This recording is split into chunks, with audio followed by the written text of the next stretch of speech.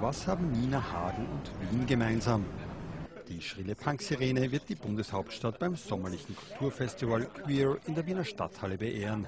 Wow, Wien, get ready. I'm coming. Bei der Vorstellung des Programms verzichtete die Urberlinerin auf lange Reden. Gerade hier in Wien ist ja der, der Geist des Mozart und der Geist des Falco und der Geist der wunderbaren österreichischen Dichter und Denker äh, sehr stark vorhanden, speziell zur Frühjahrszeit. Sprach's und sang einfach drauf los. Ich spiele euch mal ein Lied vor von einem anderen kleinen Falco. Der war in England, der ist auch sehr jung schon gestorben. Er hieß Nick Drake. Free ride, give me a free ride. I know you. I care to.